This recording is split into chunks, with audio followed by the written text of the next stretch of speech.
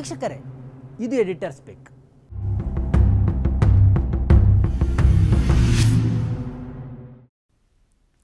ರಾಜ್ಯದಲ್ಲಿ ಸರ್ಕಾರ ಬದಲಾಗಿರಬಹುದು. ಬೊಮ್ಮಾಯಿ ಬದಲು ಸಿದ್ದರಾಮಯ್ಯ ಮುಖ್ಯಮಂತ್ರಿ ಆಗಿರಬಹುದು.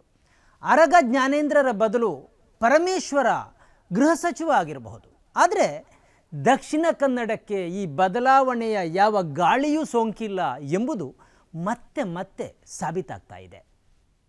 ಕಾನೂನನ್ನು ಕೈಗೆತ್ತಿಕೊಳ್ಳೋದು ದಕ್ಷಿಣ ಕನ್ನಡದಲ್ಲಿ ಹಾಲು ಕುಡಿದಷ್ಟೇ ಸುಲಭ. ಅದು ಎಲ್ಲರಿಗಲ್ಲ. ಬಿ ಜೆ ಪಿ ಮತ್ತು ಅದರ ಬೆಂಬಲಿಗರಿಗೆ ಮಾತ್ರ ಈ ಅವಕಾಶ.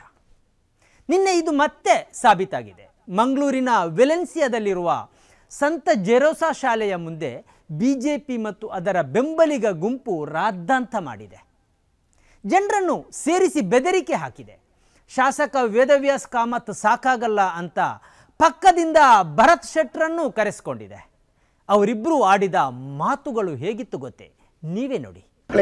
ನೀವು ಏನ್ ಮಾಡ್ತೀರಿ ಹೇಳಿ ನಾನು ಬೇರೆಯವರಾಗಿದ್ರೆ ಇಷ್ಟೊಳಗಡೆ ಜಿಲ್ಲಾ ಪಂಚಾಯತ್ ಆಫೀಸ್ಗೆ ಕಲ್ಲು ಹೊಡೆದು ಉಡಿ ಉಡಿ ಮಾಡ್ತಿದ್ರು. ಯೇಸುವಿಗೆ ನಿಂದನೆ ಮಾಡಿದ್ರೆ ಅಲ್ಲನಿಗೆ ನಿಂದನೆ ಮಾಡಿದ್ರೆ ಈ ಜಿಲ್ಲಾ ಪಂಚಾಯತ್ ಬೇರೆ ಇನ್ಸ್ಟಿಟ್ಯೂಷನ್ಗಳಲ್ಲಿ ಈ ಜಿಲ್ಲಾ ಪಂಚಾಯತ್ ಉಳಿತಿತ್ತ ಈಗ?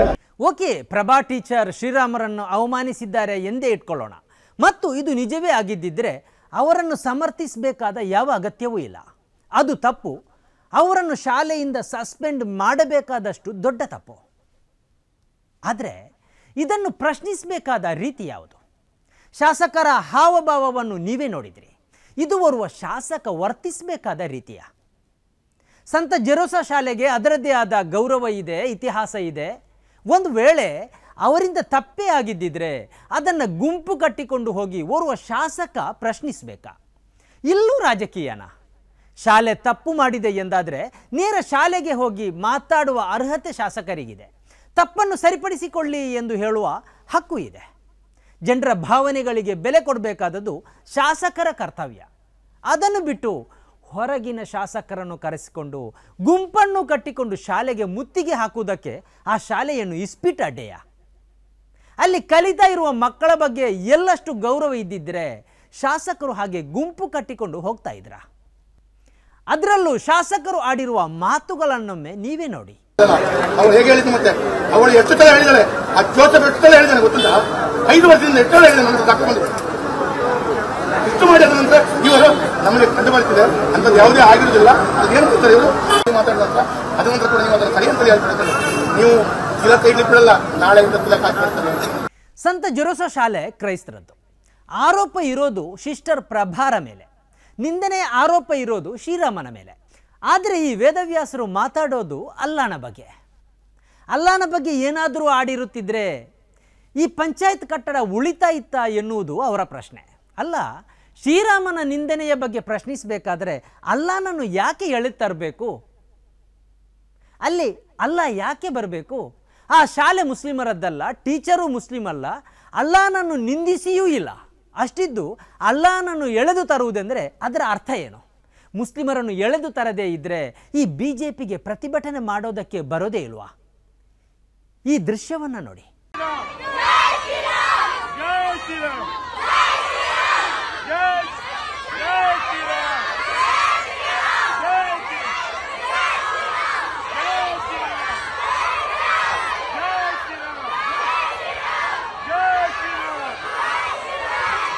ಈ ಘೋಷಣೆ ಕೂಗ್ತಾ ಇರೋ ಮಕ್ಕಳು ಅದೇ ಶಾಲೆಯವರು.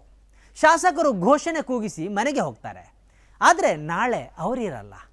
ಆದರೆ ಈ ಮಕ್ಕಳು ನಾಳೆ ಅದೇ ಶಾಲೆಗೆ ಹೋಗ್ತಾರೆ. ಇಲ್ಲಿ ಮಾಧ್ಯಮದೊಂದಿಗೆ ಮಾತಾಡಿರುವ ಮಕ್ಕಳು ಮರುದಿನ ಅದೇ ಶಾಲೆಗೆ ಹೋಗಬೇಕು. ಎಂದಿನಂತೆ ಕ್ಲಾಸ್ನಲ್ಲಿ ಕುಳಿತುಕೊಳ್ಬೇಕು. ಟೀಚರ್ಗಳ ಮುಖ ನೋಡಬೇಕು. ಈ ಯಾವ ಸಂದರ್ಭದಲ್ಲೂ ಶಾಸಕರಾಗಲಿ ಆ ಗುಂಪಾಗಲಿ ಬರಲ್ಲ. ಹಾಗಂತ ಮಕ್ಕಳಿಗೆ ಇದೆಲ್ಲ ಗೊತ್ತಿರಲ್ಲ. ದೊಡ್ಡೋರು ಆಡಿದಂತೆ ಅವು ಆಡ್ತವೆ. ಘೋಷಣೆ ಕೂಗಿ ಅಂದರೆ ಅವು ಕೂಗ್ತವೆ. ಶಾಲೆಯ ವಿರುದ್ಧ ಮಾತಾಡಿ ಅಂದರೆ ಮಾತಾಡ್ತವೆ. ಆದರೆ ದೊಡ್ಡವರಿಗೆ ಬುದ್ಧಿ ಬೇಕಲ್ಲ. ಅವರಿಗೆ ರಾಜಕೀಯ ಲಾಭ, ನಷ್ಟದ ಲೆಕ್ಕಾಚಾರವೇ ಮುಖ್ಯ ಆದರೆ ಏನು ಮಾಡೋದು? ಅದಕ್ಕಾಗಿ ಯಾವ ಮಕ್ಕಳಿಂದ ಏನನ್ನು ಕೂಡ ಹೇಳಿಸುವುದಕ್ಕೆ ಅವರು ಹೇಸೋದಿಲ್ಲ. ಮಕ್ಕಳ ಆ ಘೋಷಣೆ ಮತ್ತು ಆ ಮಕ್ಕಳ ಹೇಳಿಕೆ ಅವರದ್ದಲ್ಲ ಅನ್ನೋದು ಯಾರಿಗೂ ಗೊತ್ತಾಗುತ್ತೆ. ಯಾರೋ ಹೇಳಿಕೊಟ್ಟದ್ದನ್ನು ಆ ಮಕ್ಕಳು ಹೇಳಿದ್ದಾರೆ. ಒಂದೊಂದು ಚೈನ್ ಹಾಕಿದ್ದೆ ಕಟ್ಟಿಲ್ಲ ಅದು ಸಹ ತೆಗ್ದಿತ್ತ ರೆನಿ ಟೀಚರ್ ತೆಗ್ದಿತ್ತಿದ್ದು ಮತ್ತೆ ಸಿಸ್ಟರ್ ಪ್ರಭಾಸ ಹಾಗೆ ನಾವು ಹೂವೆಲ್ಲ ಹಾಕಿದ್ರೆ ಅವರು ತೆಗ್ದಿದ್ದಾರೆ. ಅವರಿಗೆಲ್ಲ ಫೈನ್ ತಗೊಳ್ತಾರೆ. ಅವರಿಗೆ ಏನ್ ಬೇಕಾದ್ರೂ ಹಾಕ್ಬೋದು. ನಮ್ಗೆ ಹಾಕ್ಲಿಕ್ಕಿಲ್ಲ ಅದು ಯಾಕೆ ಹಾಗೆ? ನಮ್ಗೆ ಅಂತೂ ಸರ್ಕಾರ ಬದಲಾದರೂ ದಕ್ಷಿಣ ಕನ್ನಡಕ್ಕೆ ಸುಖ ಇಲ್ಲ. ಸಿದ್ದರಾಮಯ್ಯ ಸರ್ಕಾರ ಅಸ್ತಿತ್ವಕ್ಕೆ ಬಂದ ಮೇಲೆಯೇ ಹತ್ತಕ್ಕಿಂತಲೂ ಅಧಿಕ ಅನೈತಿಕ ಪೊಲೀಸ್ಗಿರಿ ಪ್ರಕರಣ ಇದೇ ದಕ್ಷಿಣ ಕನ್ನಡದಲ್ಲಿ ನಡೆದಿದೆ. ದುಷ್ಕರ್ಮಿಗಳು ಎಂದಿನಂತೆ ಆರಾಮವಾಗಿದ್ದಾರೆ? ಬಹುಶಃ ದಕ್ಷಿಣ ಕನ್ನಡದವರು ನಮಗೆ ಓಟು ಹಾಕಿಲ್ಲ ಎಂಬ ಪ್ರತೀಕಾರವನ್ನು ಸಿದ್ದರಾಮಯ್ಯ ಸರ್ಕಾರ ಹೀಗೆ ತೀರಿಸ್ತಾ ಇದೆಯೇನೋ ಎಂಬ ಅನುಮಾನ ಕಾಡ್ತಾ ಇದೆ. ಇಂತಹ ಹಲವು ಸುದ್ದಿ ಮಾಹಿತಿ ವಿಶ್ಲೇಷಣೆಗಾಗಿ ಸನ್ಮಾರ್ಗ ನ್ಯೂಸ್. ಸಬ್ಸ್ಕ್ರೈಬ್ ಮಾಡಿ. ನಿರಂತರ ನೋಟಿಫಿಕೇಶನ್ ಪಡೆಯಲು ಬೆಲ್ ಐಕಾನ್ ಒತ್ತಲು ಮರೆಯದಿರಿ.